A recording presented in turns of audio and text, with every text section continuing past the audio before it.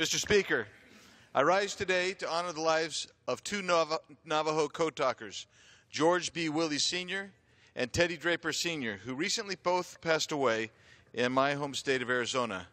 While both young men, Mr. Willie and Mr. Draper enlisted in the U.S. Marine Corps and valiantly served in World War II in the battles of Okinawa and Iwo Jima.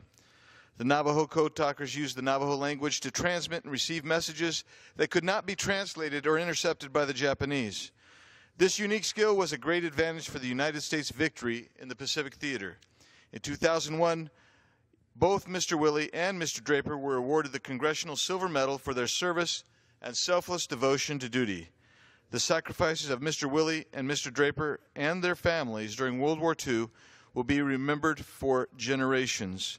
We will be forever grateful for their dedication to our nation. Thank you, Mr. Speaker. I yield back.